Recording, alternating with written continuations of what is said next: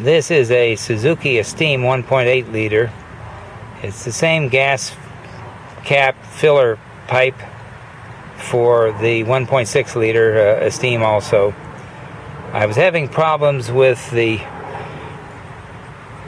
emission, or the check engine light was coming on and not going off, and here I took this pipe where the gas cap goes in the end here I took that off and lo and behold the pipe was rusted out so it was like running around without the gas cap on.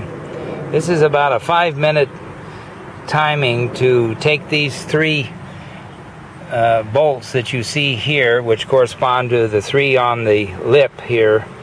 Take those three out plus one other bolt that brackets the end of the filler pipe to the subframe of the car under the fender here in the axle area.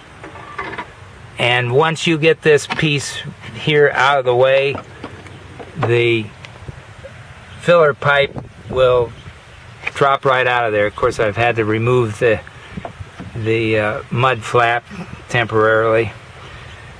And you have to take the rubber hose off of the end here that attaches to the gas tank but this is a relatively easy fix.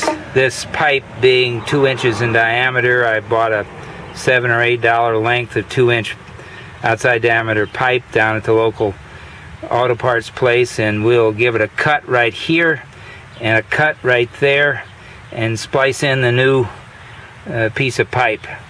This whole section of filler pipe is $422 from our Suzuki parts house and the labor to take out the three bolts and the one bracket fastener at the bottom and take the hose off and take the mud flap away. The labor for that is $180 at the dealership, which is a little bit steep.